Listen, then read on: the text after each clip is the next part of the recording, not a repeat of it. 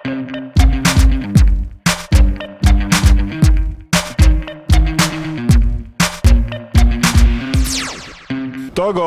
TV studijā šobrīd uh, Kleģers jaunākais, ar iesauku Nēģers.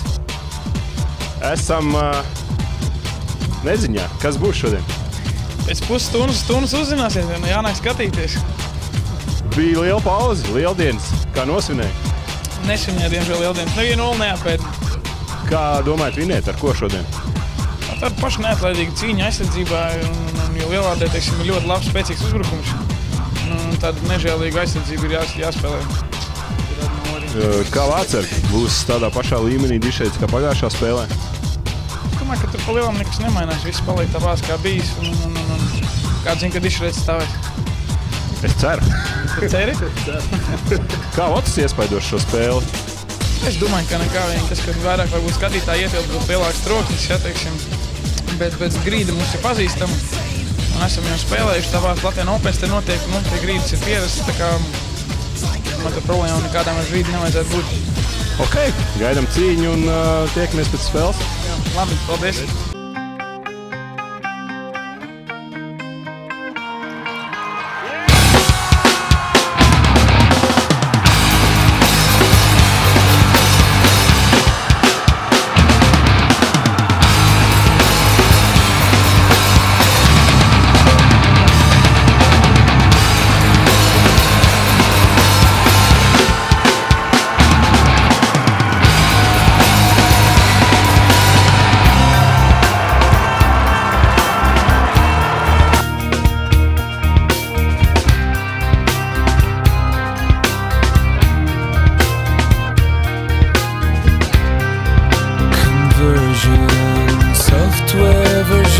7.0.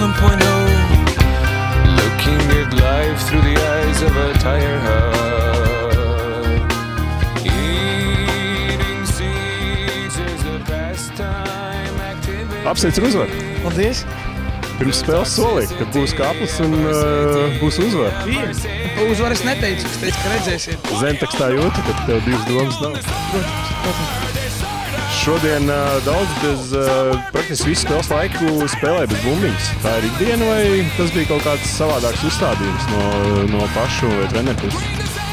Pēdējā laikā ir tā, ka es vairāk, vairāk pildu tādu gaisa maisītāju lomu. Esmu vairāk klāts priekšā, lai radītu problēmas tieši pretinieku un Mums ir lieliski aizsargi, kas met pa vārtiem. Galvenais trāpīt tajā rāmītī. Un, un, un, un, un tad tur jau, ja netrāp, tad es cenšos pielabot. Spēka pietika. Spēka pietiek, jā, bet nu, grūti kā, teiksim, ir tās garās brīvdienas, kad ir bijuši. Grūti no tā, no cikls bija pirms tam jau viss tā, nu, atslābinājāmies bišķiņ, tāpēc tas sākums ar bija tās, nu, 4-1. Tas jau, zinu, daudziem likās jau, ka būs. Jā, nu tieši par to sākumu gribēju prasīt.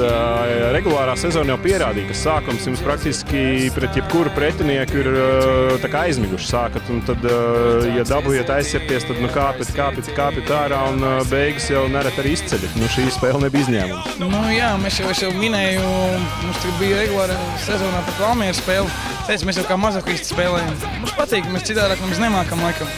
Tās tas ir ķekals florbols. Sēriju visi eksperti, vismaz lielākā daļa, prognozēja, ka būs uh, lielvārdu pārbrauks pāri. Šobrīd rezultāts ir 2-1 ķekā vadībā. Eksperti prognozē, ko viņi grib. Viss pierādās laukumā. Runāt par daudz. Tieši tā, uh, kā gatavosties rītdienai? Spēks pietiks vai uz superkompensāciju turēsiet līmeni? Domāju, ka mēs neko daudz nemainīsim. Tagad jau par cik, cik spēles palikušas, neko jau daudz jaunu mēs iemācīties vairs nevaram. Nu, jums izskatās, viss strādā, un uh, Dievs, Dievs dod jums spēku, jo lielvārdē tomēr soliņš izskatās nedaudz garāks, un uh, nu, fiziski, es domāju, jums tās bārdas un Čaka Noris spēks palīdzēs. Nu, paldies! Jā. Lai veids!